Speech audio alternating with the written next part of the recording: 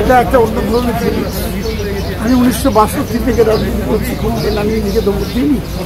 নিজের এলাকায় ভোট দিয়েছি, কিন্তু অন্য লোককে ভোট দিয়েছি।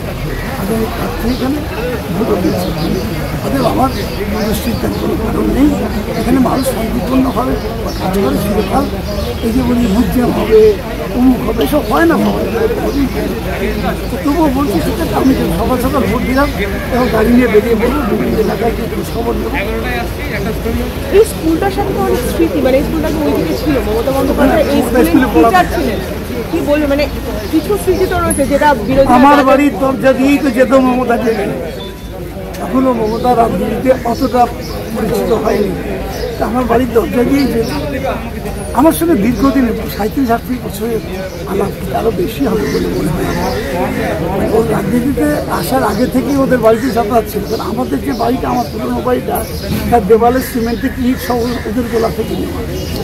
ওর আমি ষষ্ঠ থেকেই চিনতাম ওকে চিনতাম তো সেই থেকে একটা পারিবারিক ওর মা আমাকে স্নেহ করতে ওর মমতাকে দেখা দিয়েছে তোর মার কাছে আমার করার জন্য। সেখান থেকে সেখান থেকে দাঁড়িয়ে ভবানীপুর কেন্দ্র নিয়ে আপনার যেখানে মমতা বন্দ্যোপাধ্যায় নিজের আমি একশো ভাগ আশাবাদী এখানে আমি জিতবই এখানে আমি জিতবই এখান থেকে আমাকে আর রুদ্রনীল ঘোষ বা বিজেপির যে কোনো যিনি আপনার এগেন্সে দাঁড়িয়েছেন, আপনি তো একদম পড়ুয়া রাজনীতি সেখানে ওনার রাজনীতির সাথে কোনো যোগ নেই। সেখানে দাঁড়িয়ে উনি যে ধরনের অভিযোগগুলো করছেন, সেগুলো অভিযোগগুলো সব তো ভুলভাল অভিযোগ, কেন?